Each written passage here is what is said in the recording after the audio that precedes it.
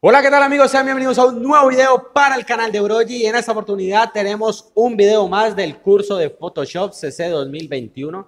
Aquí recuerden que sirve para todas las versiones, ya vimos lo que es eh, la interfaz de lo que es Photoshop, también vimos todo lo que tiene que ver cómo crear un documento y hemos visto un poquito más a fondo lo que son algunas herramientas y demás. Todos estos videos, si no lo has visto, te recomiendo que veas esta lista de reproducción que está apareciendo aquí arriba, en donde empieza desde el punto número cero hasta donde vamos actualmente. Recuerda que constantemente voy a ir subiendo videos para poder enseñarte cosas nuevas, las cuales tú puedas poner en práctica desde ya, desde el mismo momento en que ves el video y pues vas a aprender con muchísima facilidad cosas bastante eficaces. Para empezar nos vamos a entrar a lo que es el Photoshop. Puede ser cualquier versión, vuelvo y lo reitero. No importa la, la versión que ustedes tengan del programa, cualquier versión les va a funcionar. Entonces, aquí ya tenemos lo que es nuestro Photoshop. De momento lo que vamos a hacer es abrir una imagen. ¿Por qué abrir una imagen, Broji? Porque te voy a enseñar a cómo moverte, cómo desplazarte a través de una imagen en el programa de Photoshop. Voy a irme aquí rápido a lo que es descargas y voy a mirar a ver qué imagen tengo por aquí. Puede ser esta que está aquí. Voy a abrir esta imagen, la voy a seleccionar y le voy a dar a abrir. Tú vas a buscar una imagen, la que tú quieras de preferencia, la vas a seleccionar, le vas a dar un clic o le puedes sencillamente dar doble clic y se te va a abrir. O le das un clic y le das aquí donde dice clic en abrir.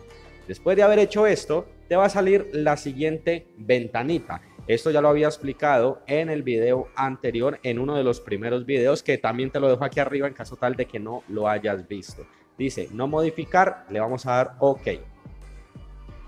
Después de abrir nuestra imagen, nos encontramos con nuestro panel de trabajo, nuestro espacio de trabajo, que en este momento estamos sobre aspectos esenciales. ¿Cómo me doy cuenta de eso?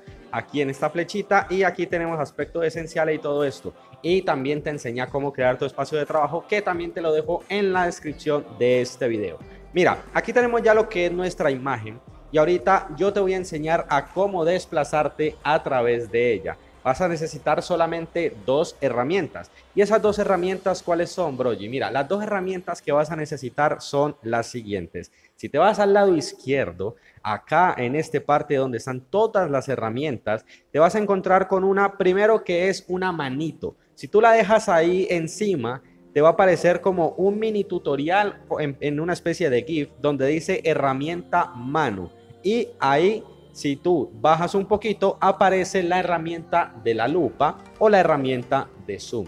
Esta herramienta sirve para acercarnos y para alejarnos. Te lo explico más a fondo. Vamos a coger aquí lo que es la herramienta de zoom y vamos a dar un clic. Si das un clic normal, el clic normal, vas a ver que la imagen se va agrandando.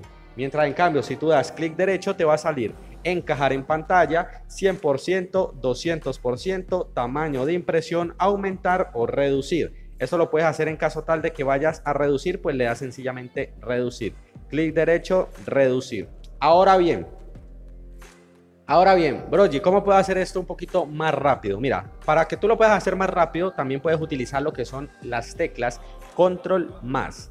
Si le hundes la tecla control más el signo de más, junto un descontrol y después el signo de más, pues la imagen se te va a ampliar. Si hundes al contrario lo que es control más la tecla menos, entonces se va a alejar de la pantalla. Ahora bien, si le damos doble clic a la lupa, se nos va a agrandar en una dimensión que es la máxima en cuanto a resolución.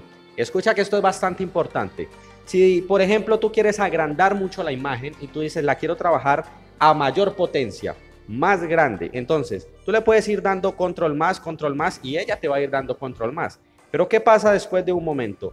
Pasa esto, se te va a ir pixelando la imagen. Entonces, si tú le das doble clic a la herramienta de lupa, entonces te va a ampliar al máximo lo que se puede en resolución. Todo claro por ahí, ¿verdad? Ok, me parece perfecto. Ahora otra cosa. Vamos a irnos a la herramienta mano. Puedes observar que tiene un triangulito y si tú la dejas hundida, pues te van a salir eh, dos opciones. Tenemos lo que es herramienta mano y tenemos lo que es herramienta rotar vista.